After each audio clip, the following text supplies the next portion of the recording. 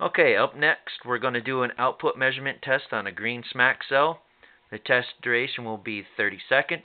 Applied voltage 12 volts DC at 20 amps.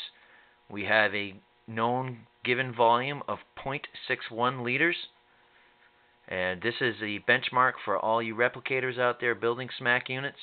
This is what your brand new assembled unit should produce the first time you dump it into your electrolytic bath. So the test begins now. So here we are, we got our SMAC unit bubbling away happily at 11.4 volts.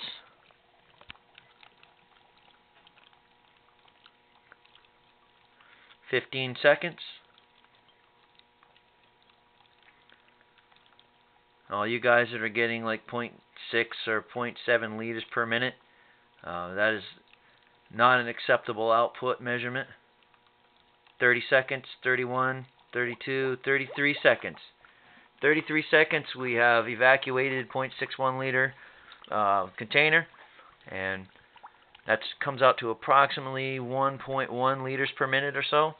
That's the benchmark. Uh, green cells should produce anywhere between 1 and 1.2 liters per minute. Uh, this one's just slightly under my normal 1.2 liter per minute mark as uh, you can see, my battery's getting tired. We're only, we're already down to 10.5 volts, so that's a pretty good number for having a tired battery. Um, and as you condition your plates and they approach that optimal efficiency, with they get the catalytic uh, layers built upon them, you will approach the claimed 1.7 liter per minute benchmark for a fully conditioned cell. So there you have it, folks. 1.2 liters per minute you get anything less than that, you need to look over your design, make sure that you haven't made any mistakes or overlooked anything.